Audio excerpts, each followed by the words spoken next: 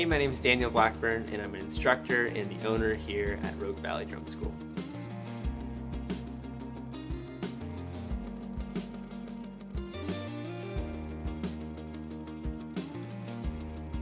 Growing up, music was always very prominent in the household, and I started taking piano lessons when I was about seven years old, and I took lessons for three years. I would say about a year or two in, I was really interested in composing, but that wasn't the main focus of my lessons. We were working more on fundamentals, learning songs that I wasn't that interested in. So my interest started shifting towards the drums. At church in the worship section of the services, I would always be enthralled with the drums and I was just captivated by the power and presence that they brought. So I asked my dad if I could take drum lessons instead of piano lessons. And at first he actually said, no, drums are way too loud, we're, we're not gonna do that. I kept asking him and eventually I wore him down. So he said, if you stick with piano for the rest of the summer, then you can do drum lessons. So I stuck with piano and he agreed to let me start drum lessons. So I started taking lessons from a teacher named Ken Bollinger at Skips Music in Sacramento. And I studied with Ken for about a year until he moved on from teaching. And then I went over to take lessons from Mike Johnston at the Drum Lab for several years. Mike was an amazing teacher and a great role model for who I am now as a teacher. When Mike moved to Folsom to pursue his website, I actually took a break from drums altogether. I sold my drum set and for some reason I thought that skateboarding was cooler than drums and clearly I was wrong. It wasn't until my freshman year of high school where drums re-entered my life. My brother showed me a band called A Lot Like Birds and I listened to their album called Conversation Piece and it literally changed my life. Listening to that album I was so impressed by the musicality and the beautifully orchestrated chaos that went on. I found out after looking into the band further that they were a Sacramento band and that the drummer, Joe Arrington, taught at the drum lab. So I started studying with him immediately. And I remember on our first lesson, he told me something that I will never forget. And that was, I can lead a horse to water, but I can't make it drink.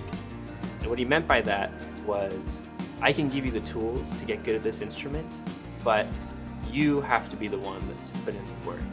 And that was the first time that it really resonated with me that I need to practice to get better at this instrument.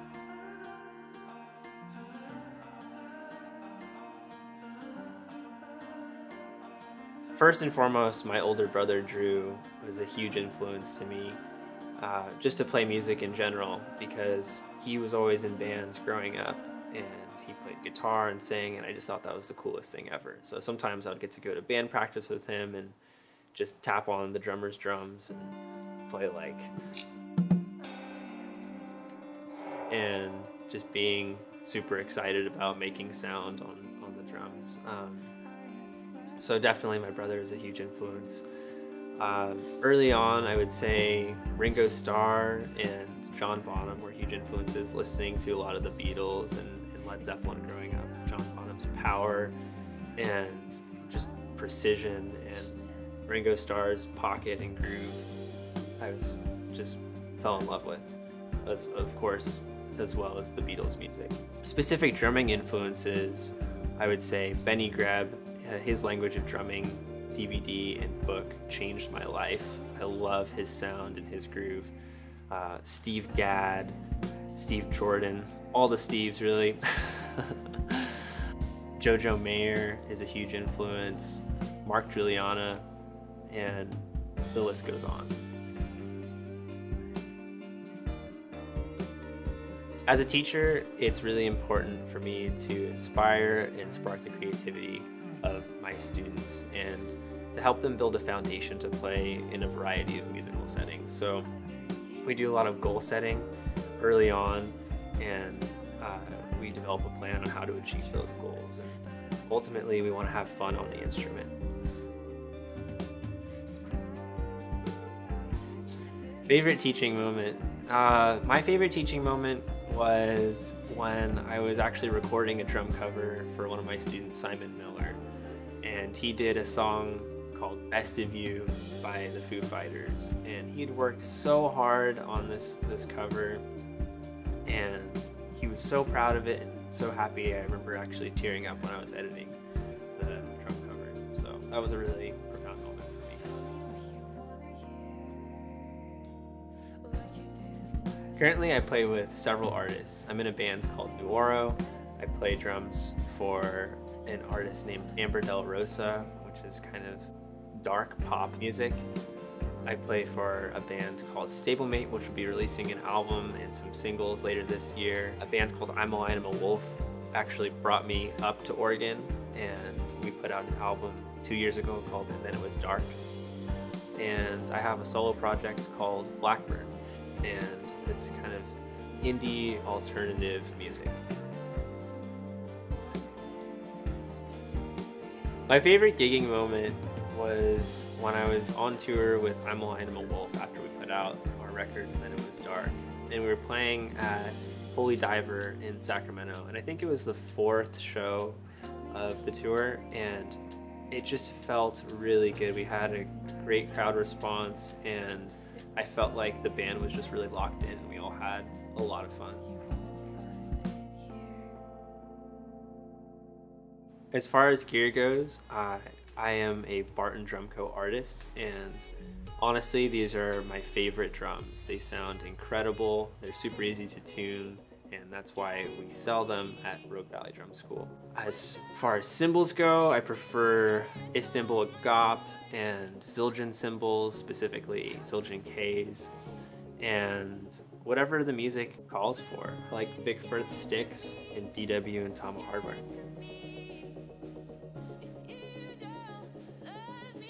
For any new drummers, I would say practice your timing a lot. Get really comfortable with and without a metronome. And focus on your feel. You don't want to sound like a drum machine unless you're trying to sound like a drum machine. You want to have a human element to it. Listen to your influences and try to copy them and then when you practice sounding like enough different people eventually you will sound like yourself and you'll become a culmination of your influences. The last piece of advice I have for new drummers is be as professional as possible. When you have a gig, get there early. Early is on time. Show up over prepared. Never show up and be learning the songs, you know, on the way to the gig or at the gig. You just, you don't be that guy. I started Rogue Valley Drum School honestly out of necessity. When I moved up to Oregon from Sacramento, there was nowhere for me to teach really. And so I started a business called Blackburn Drum Lessons with the dream of eventually making it into a full drum school with other instructors. And eventually, with a lot of hard work, it's become just that. I believe we have an amazing community of instructors and students, and we have a ton planned for this year for future band programs and just musical opportunities to provide for our students.